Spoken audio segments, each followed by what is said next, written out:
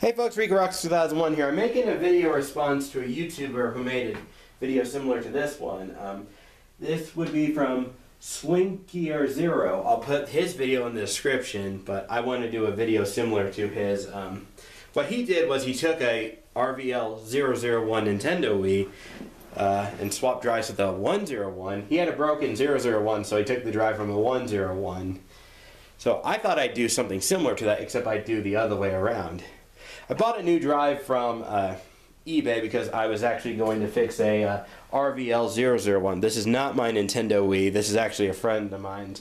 My Nintendo Wii is actually down there, and it, I've had that since 2007. It never broke. It works perfectly. I still have it. So, anyone who uh, can give me advice for homebrewing, that'd be awesome. I'd appreciate that. What I want to do in this video is basically. Um, I had a blue Nintendo Wii uh, that I bought years ago. Um, in fact, um, I have it in pieces right now. Um, this is what the shell looks like. It was the blue Walmart edition Nintendo Wii, if anyone's familiar with that. What I was going to do in the future is uh, take the guts from my Nintendo Wii and stick it in the blue shell. I thought it would look really cool that way. That way I can have a blue Nintendo Wii that plays GameCube games. Okay, back on topic. Um, let's go ahead and fire up the Nintendo Wii. The question is, can you use an RVL001 drive and an RVL101 drive? I'm going to go ahead and point the TV, the camera at the TV. I'm going to power it on. So here we go. Let's cross our fingers. Oh, that's a good sign. I hear the drive moving. Unfortunately, I have uh, no Wii remote synced up, so I'm to have to sync one up. Luckily, I have this blue one that matches. It did not come with the system. I actually bought it separately. I would appreciate a blue nunchuck. Oh, there we go. Yeah, there's not much on this Nintendo Wii, so...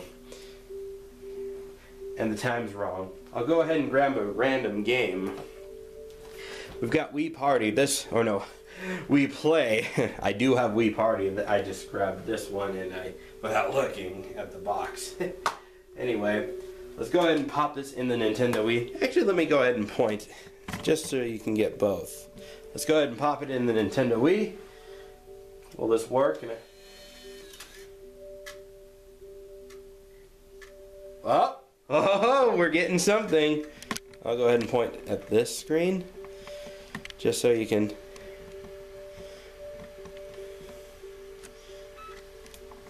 Ah, recognized it. Now let's go ahead and eject that one and stick a GameCube game. Just out of curiosity, if this will actually work with GameCube. But I gotta warn you, since this does not have GameCube controller ports, you're gonna have to do a hard reset on this, so. I'll go ahead and grab a GameCube disc. I'm gonna grab, um, hmm, let's see. No.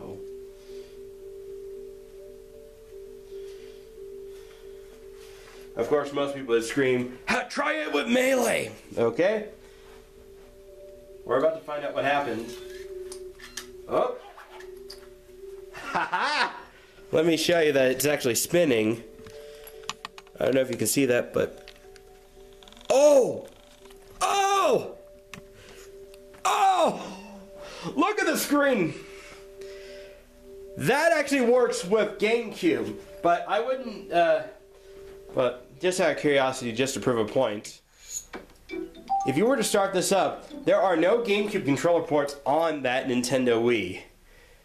So, but just out of curiosity, yeah, it won't work with Wii uh, accessory. You would actually have to, uh, to get it to work with uh, GameCube uh, adapters and stuff, I hope you know how to use a soldering gun. This does have the ports right here for the GameCube compatibility. But, just to prove a point, I better take Melee out of here. But that, but I just wanted to experiment with you guys just to prove a point that if you want to buy a RVL 101, not, but use a drive from a 001, it does work. Uh, to factory reset this guy, you have to take the disk out and hit reset on the console. Oh, oh I'm sorry. And power it off. There we go. All right, but that's to prove a point that that's what happens if you stick a 001 drive in a 101 console. It will work. But if you want to use the GameCube controllers and stuff, you will need to learn how to use a soldering gun. As for the memory cards portion, my best bet is to find uh, find some from a broken 001 bore that has corrosion on it. So that's my video. Thanks for watching.